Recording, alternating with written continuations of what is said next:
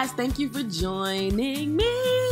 This is me transforming into my wild, crazy self that you guys normally know into my teacher transformation.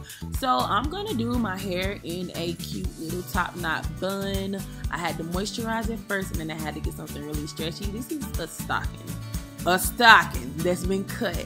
And I like it because it can get my hair really tight and taut into this bun that I like when I don't want my bun to be as messy as you guys usually see me do it. So I tie it real tight to my head and I kind of just squeeze it up and I keep pulling like the front of it right there tighter and I keep squeezing it up till I got like this ponytail like hanging in the front of my head and I like it because I'm wild and crazy so yeah, you know. And then I just basically twist this ponytail around the little stocking like mold that I have there. Basically, I'm just trying to hide the stocking with my locks. So I just twist them around them, them around each other, try to get them as, you know, tight and in as much as I can. And then I just basically have my shape there.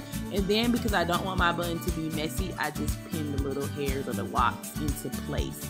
Now I gotta get the back of this kitchen, girl. Ooh, I hate this part of having locks. Girl, gotta get that and gotta try to get these edges in. This edge controller that I'm using is Ebin's 24 hour. It looks nice right now, but girl, by the time I even put this makeup on, them is gonna be back up.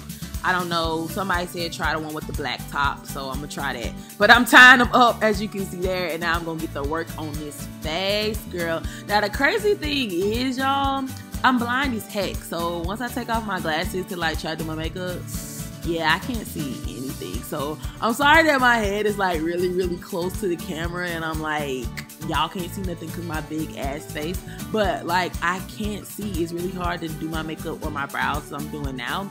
And I literally can't see, so I'm like all up in the mirror. But anyway, this is my Anastasia Beverly Hills pencil in the color dark brown. Y'all know how I do, just tracing out the shape of my brow, giving myself an arch, filling them in. I'm gonna go on with the NYX Control Freak, which is basically just an eyebrow setting gel to brush up them hairs because they're really curly and all over the place, and I just need to keep them in set and in place. And then I'm gonna go in with the LA Girl Pro Conceal in the color Fine, and basically just trace them out. I'm gonna blend it out and then I'm gonna set my Ooh, y'all. I hate doing voiceovers, but here I am. So I'm going to cover my whole eyelid basically with the LA Girl Pro Concealer in the color Fawn because my eyelids are dark if you haven't noticed. So yeah, I want to lighten them up.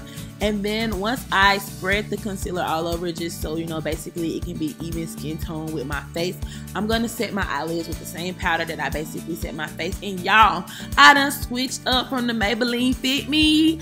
I am trying the Black Radiance in this color in bronze glow and you can see it there yes i tried something new and i like it i think i like it better than the fit me um, I was using the color 355. But anyway, I'm just setting those eyelids so that, you know, the concealer don't be sliding and greasy eyelids and all of that. But anyway, I gotta go ahead and take this scarf off because I don't like filming with a scarf on because it just feeds into that stereotype with black girls on your head scarf. So I didn't want to know anyway. So now I'm gonna go ahead and use a primer, and this is Unicorn Essence for Sally. Y'all know the doggone drill. We do the same thing every day, every time. Also, foundation, CoverGirl, TruBlend, D50, what? Oldie, goodie, same thing. I really need to get some new makeup, but I'm trying to do better with my spending habits. Now, this beauty blender is a Sonia Kashuk.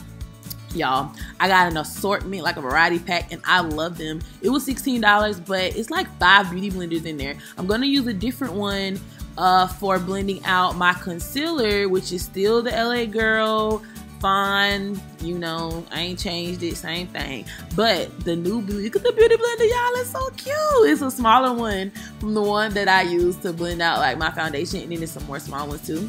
But yeah, so I'm just gonna go ahead and blend it out, and then I'm gonna be setting with the Laura Mercier A translucent setting powder. I don't know why every time I say translucent setting powder, I have to do it with an accent. But yeah, y'all know. Here we go, right here. And I think that this everything looks so good. Like those beauty blenders are nice, and I needed another one because my Real Techniques was busted, y'all. It had all kinds of rips and tears. So the Sonia Kashuk beauty blenders are are good. I like them. I will repurchase, but I have an assortment pack and let's see how long it lasts before I be trying to repurchase. Speaking of y'all, Black Radiance, I done picked up a new uh contour shade. This is actually rich mahogany. Oh, wait, actually, I'm moving too fast, y'all. I'm setting my face with the bronze glow still. Sorry, all over my face. But then, but then, once I set that powder and it does, everything looks so good. I love it. Go Black Radiance. I did pick up a new contour shade and it is rich mahogany. I was using um mm, ebony at first but there's the rich mahogany it's way lighter and not as darker as ebony and I like it. I feel like it looks better on my face. And I'm just going under with the actual bronze glow setting powder under to like cut it a little bit. Now my nose contour was really strong, but it always is, y'all. So I went in with the Laura Mercier on the sides of it and like down the, you know, the middle of it to try to help it, girl try to help it. And then I'm gonna brush it all over, you know, with my bronze glow to try to help it some more, girl, because we just need the help. Now I'm gonna be having glasses on, but I had to put some mascara on, you know, you know, like my eyes just be looking a little alert and all of that. So I do a little bit to the eyes, but that's pretty much it. Now I'm going to be using this B Matte blush by LA Colors and it looks a little intimidating in the package but as you can see it's so pretty and just a flush of like pinkish orange.